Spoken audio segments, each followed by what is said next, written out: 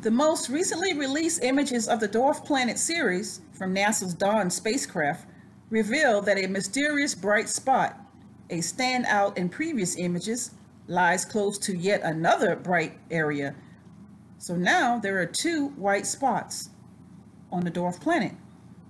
Looks like both bright spots appear to lie within the walls of a crater on Ceres. The spacecraft acquired the image above on February 19, 2015, at a distance of nearly 29,000 miles from Ceres, which is the largest and most massive object in the main asteroid belt between the orbits of Mars and Jupiter.